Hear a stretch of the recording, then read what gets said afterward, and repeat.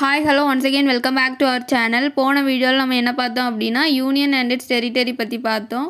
இன்றைக்கி என்ன பார்க்க போகிறோம் அப்படின்னா ஆர்டிகல் ஃபைவ் டு லெவன் பற்றி தான் பார்க்க போகிறோம் ஆர்டிகல் ஃபைவ் டு லெவன் வந்து எதை பற்றி சொல்லுது அப்படின்னா சிட்டிசன்ஷிப் பற்றி சொல்லுது. அதை பற்றி தெரிஞ்சுக்கணும் அப்படின்னா வாங்க வீடியோக்குள்ளே போகலாம் ஃபஸ்ட்டு நம்ம இன்றைக்கி எதை பற்றி பார்க்க போகிறோம் அப்படின்னா சிட்டிசன்ஷிப்போட டெஃபினிஷன் அதே மாதிரி அதோட மீனிங்கும் பற்றி தான் பார்க்க போகிறோம் சிட்டிசன்ஷிப் அப்படின்னா என்ன அப்படின்னா ஒரு நாட்டில் ஒரு பர்சனுக்கு ஃபுல் ரைட்ஸும் கொடுத்துருக்காங்க அப்படின்னா அந்த நாட்டோட சிட்டிசன்ஷிப் அந்த பர்சனுக்கு இருக்குது அப்படின்னு அர்த்தம். சிட்டிசன்னால் மட்டும்தான் ஒரு நாட்டோட எல்லா ரைட்ஸையும் அனுபவிக்க முடியும். அடுத்து வந்து ஹேண்ட்ஸ் கேல்சன் வந்து என்ன சொல்கிறாரு அப்படின்னா சிட்டிசன் அப்படின்னா ஒரு நாட்டோட லீகல் ஸ்டேட்டஸ் அவங்களுக்கு இருக்கும். அந்த லீகல் ஸ்டேட்டஸ் எதுலேருந்து ட்ரைவ் பண்ணியிருப்பாங்க அப்படின்னா ஸ்பெசிஃபிக் ரைட்ஸில் இருந்து. அதே மாதிரி ஒரு சிட்டிசனுக்கு வந்து ஒரு நாட்டில் என்னது கொஞ்சம் டியூட்டிஸ் இருக்கும். என்ன மாதிரி அப்படின்னா அந்த நாட்டோட நிலமையை பொறுத்து. இப்போ சில நாட்டில் வந்து மிலிட்ரி சர்வீஸ் எல்லா சிட்டிசனும் பண்ணணும். அந்த மாதிரி இருக்கும். அடுத்து வந்து எதை பற்றி பார்க்க போகிறோம் அப்படின்னா கைண்ட்ஸ் ஆஃப் சிட்டிசன்ஷிப் சிட்டிசன்ஷிப் வந்து ரெண்டாக டிவைட் பண்ணுறாங்க ஒன்று டியூவல் சிட்டிசன்ஷிப் இன்னொன்று சிங்கிள் சிட்டிசன்ஷிப் டியூவல் சிட்டிசன்ஷிப் அப்படின்னா ஒரு பர்சனுக்கு வந்து ரெண்டு சிட்டிசன்ஷிப் இருக்கும். எப்படி அப்படின்னா ஃபெட்ரல் சிட்டிசன்ஷிப் ஒன்று இன்னொன்று சிட்டிசன்ஷிப் ஆஃப் த ஸ்டேட் எக்ஸாம்பிளுக்கு வந்து அமெரிக்காவை சொல்லலாம். ஏன் அப்படின்னா அமெரிக்காவில் வந்து ரெண்டு சிட்டிசன்ஷிப் கொடுத்துருக்காங்க. என்ன அப்படின்னா சிட்டிசன்ஷிப் ஆஃப் அமெரிக்கா ஒன்று அதேமாதிரி அவங்க எந்த ஸ்டேட்டில் உள்ளவங்களோ அந்த ஸ்டேட்டில் உள்ள சிட்டிசன்ஷிப் ஒன்று அடுத்து வந்து சிங்கிள் சிட்டிசன்ஷிப் சிங்கிள் சிட்டிசன்ஷிப் அப்படின்னா என்ன அப்படின்னா ஒரு பர்சனுக்கு வந்து ஒரே ஒரு சிட்டிசன்ஷிப் தான் இருக்கும். அவங்க எந்த கண்ட்ரியில் உள்ளவங்களோ அந்த கண்ட்ரிக்குள்ளே சிட்டிசன்ஷிப் மட்டும் தான் இருக்கும். எக்ஸாம்பிளுக்கு வந்து இந்தியாவை சொல்லலாம். இந்தியாவில் ஒரே ஒரு சிட்டிசன்ஷிப் தான் இருக்குது நம்ம இந்தியன் கான்ஸ்டியூஷனில் பார்ட் டூ அதே மாதிரி ஆர்டிக்கல் ஃபைவ் டு லெவனில் வந்து என்ன எதை பற்றி சொல்கிறாங்க அப்படின்னா சிட்டிசன்ஷிப் பற்றி தான் சொல்கிறாங்க இந்தியன் கான்ஸ்டியூஷனை பொறுத்த வரைக்கும் இந்தியாவில் வந்து ஒரே ஒரு சிட்டிசன்ஷிப் தான் உண்டு. எப்படி அப்படின்னா சிட்டிசன்ஷிப் ஆஃப் இந்தியா மட்டும்தான் உண்டு. அதே மாதிரி இந்த நிறைய ஸ்டேட்ஸ் இருக்குல்ல அந்த ஸ்டேட்டுக்குன்னு ஏதோ எந்த ஒரு சிட்டிசன்ஷிப்பும் கொடுக்கல. அடுத்து வந்து நம்ம எதை பற்றி பார்க்க போகிறோம் அப்படின்னா ஒரு நாட்டோட சிட்டிசன்ஷிப்பை எப்படிலாம் அடையலாம் அதை பற்றி தான் பார்க்க போகிறோம் ஆர்டிகல் ஃபைவ் டு எயிட் வந்து எதை பற்றி சொல்லுது அப்படின்னா ஒரு நாட்டோட நம்ம நாட்டோட கான்ஸ்டியூஷனை தொடங்கும் போது இருந்த சிட்டிசன்ஷிப் பற்றி தான் சொல்லுது. அடுத்து ஆர்டிகிள் நைன் டு லெவன் வந்து எதை பற்றி சொல்லுது அப்படின்னா எப்படிலாம் சிட்டிசன்ஷிப்பை நம்ம அடையலாம்? அதே மாதிரி எந்த ஒரு காரணத்தாலும் நம்ம சிட்டிசன்ஷிப்பை நம்ம இழக்க நேரிடுது அப்படின்னு சொல்லுது. இப்போது நம்ம கான்ஸ்டியூஷன் தொடங்கும் போது இருந்தால் சிட்டிசன்ஷிப் பற்றி பார்ப்போம். ஃபஸ்ட்டு வந்து சிட்டிசன்ஷிப் பை டொமிசில் அடுத்து வந்து சிட்டிசன் மைக்ரேட்டட் ஃப்ரம் பாகிஸ்தான் அடுத்து வந்து பர்சன் மைக்ரேட்டட் டு பாகிஸ்தான் அடுத்து வந்து சிட்டிசன்ஷிப் ஆஃப் இந்தியன் அப்ராட் வாங்க ஒவ்வொன்றும் டீட்டெயிலாக பார்க்கலாம். ஃபஸ்ட்டு வந்து citizenship by domicile first domicile அப்படின்னா என்ன அப்படின்னு பார்க்கலாம். டொமிசில் அப்படின்னா வாழ்விடம். ஒரு பர்சன் வந்து நம்ம கடைசி வரைக்கும் இங்கே தான் இருக்கணும் அப்படின்னு டிசைட் பண்ணிவிட்டு ஒரு இடத்துல வாழ்வாங்கள்ல அந்த இடத்த தான் டொமிசில் அப்படின்னு சொல்கிறாங்க ஆர்டிகல் ஃபைவ் படி ஒரு பர்சன் டொமிசில் மூலமாக சிட்டிசன்ஷிப் அடையணும் அப்படின்னா அந்த ரெண்டு கண்டிஷனை அவங்க ஃபுல்ஃபில் பண்ணியிருக்கணும். எதெல்லாம் அப்படின்னா இந்தியன் கான்ஸ்டியூஷன் தொடங்க முன்னாடியே அவங்க வாழ்விடம் வந்து இங்கே இந்தியாவில் இருந்திருக்கணும். அதுக்கப்புறம் ஒரு அந்த பர்சன் வந்து இந்தியாவில் பிறந்திருக்கணும். அப்படி இல்லை அப்படின்னா அவங்க அப்பா அம்மாவில் யாராவது ஒருத்தவங்க இந்தியாவில் பிறந்திருக்கணும். அப்படியும் இல்லை அப்படின்னா நம்ம கான்ஸ்டியூஷன் தொடங்கிறதுக்கு முன்னாடி அஞ்சு வருஷம் அவங்க இந்த அஞ்சு வருஷமாவது இந்தியாவில் வந்து அவங்க வாழ்ந்துருக்கணும். அப்படி இருந்திருந்தால் மட்டும்தான் அவங்களுக்கு டொமிசில் மூலமாக சிட்டிசன்ஷிப் கொடுக்க முடியும். அடுத்து வந்து citizen migrated from Pakistan article six வந்து என்ன சொல்லுது அப்படின்னா பாகிஸ்தான்லேருந்து இந்தியாவுக்கு வந்திருப்பாங்களே அவங்கள பற்றி சொல்லுது. இதை வந்து ரெண்டாட்டு டிவைட் பண்ணுறாங்க ஒன்று வந்து ஜூலை நைன்டீன் நைன்டீன் ஃபார்ட்டி எயிட்க்கு முன்னாடி வந்தவங்கன்னு ஒரு இதும் ஒன்று ஜூலை நைன்டீன் நைன்டீன் ஃபார்ட்டி எயிட்க்கு அப்புறம் வந்தவங்க அப்படின்னு ரெண்டாட்டு டிவைட் பண்ணி வச்சுருக்காங்க. அடுத்து வந்து person migrated to Pakistan article seven வந்து என்ன சொல்லுது அப்படின்னா ஒரு இந்தியன் சிட்டிசன் வந்து ஆர்டிகல் ஃபைவ் படி இல்லை சிக்ஸ் படி அவங்க வந்து இந்தியன் சிட்டிசன் அப்படின்னு அங்கீகரிக்கப்பட்டிருக்காங்க.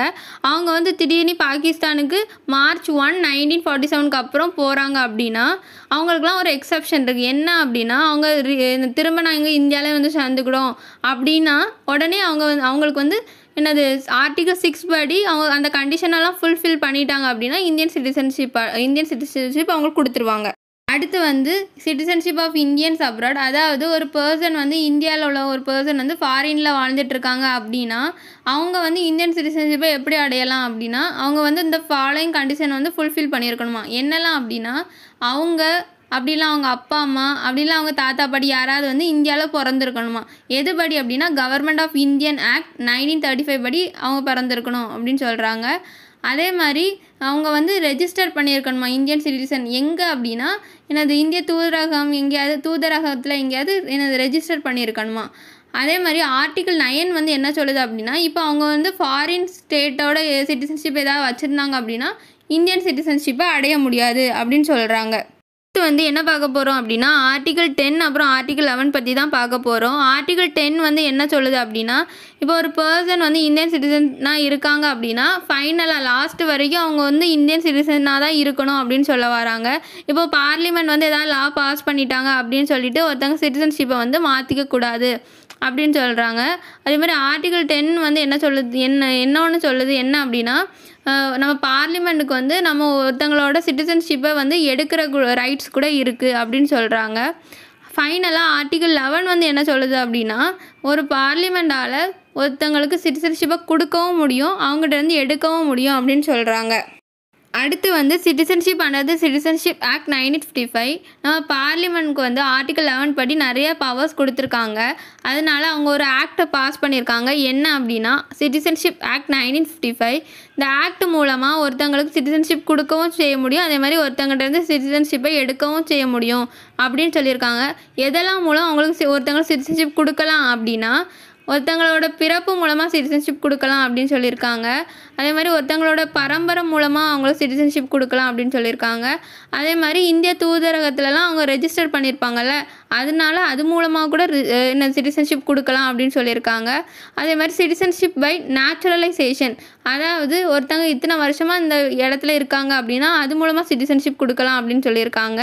அதே மாதிரி citizenship by incorporation of territory அதாவது ஒரு நான் இடத்த வந்து இந்தியாவோட எனது சேர்க்கும்போது அந்த இடத்துல இருக்காங்களா அந்த பீப்புளுக்கும் என்ன சிட்டிசன்ஷிப் ஆஃப் இந்தியா கொடுக்கலாம் அப்படின்னு சொல்கிறாங்க அடுத்து வந்து டெர்மினேஷன் ஆஃப் சிட்டிசன்ஷிப் ஒரு பர்சன் வந்து எப்போல்லாம் அவங்க சிட்டிசன்ஷிப்பை இழக்கிறாங்க அப்படின்னா பை ரெனான்சேஷன் அதாவது அவங்கள ஒரு நாட்டிலேருந்து துரத்திட்டாங்க அப்படின்னா அந்த நாட்டோட சிட்டிசன்ஷிப்பை அவங்க இழக்கிற நிலைமை கொண்டு வருது.